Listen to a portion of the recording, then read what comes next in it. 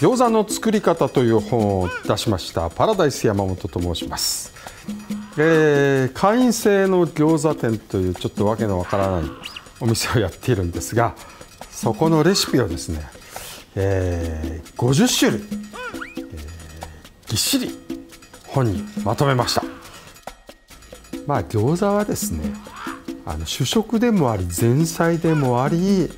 そしてデザートでもあると、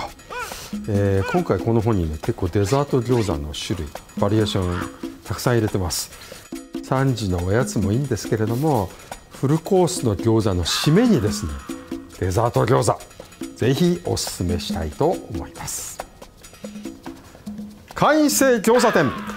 パラダイス山本が送る餃子の作り方公文社より発売中です。デザート餃子の作り方もあります。